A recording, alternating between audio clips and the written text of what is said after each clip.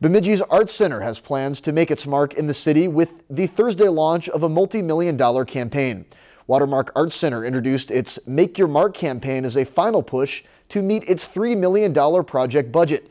It has plans to transform its current space into a regional hub for artists to collaborate and showcase their work. Some of the features of the new facility are going to include increased gallery space, for expanded exhibit opportunities. This is going to include a gallery that's dedicated to Native American contemporary art and traditional craft.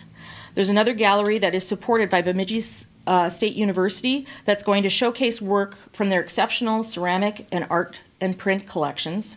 The addition of the prominent green space located on the south side of the Art Center will enhance this distinctive landmark building.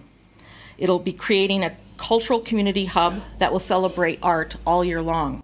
They also plan to feature an enhanced retail space and an education studio for both kids and adults.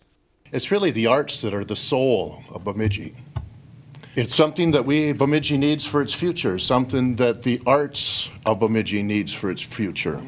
It's going to be a great place for um, the youth of our area to educate, to teach them about the arts, and give them an opportunity to take the arts forward. They have raised nearly $2 million so far and have plans to start renovations this fall. The Arts Center has also hosted popular events throughout the summer, including the Loop the Lake Festival and Art in the Park.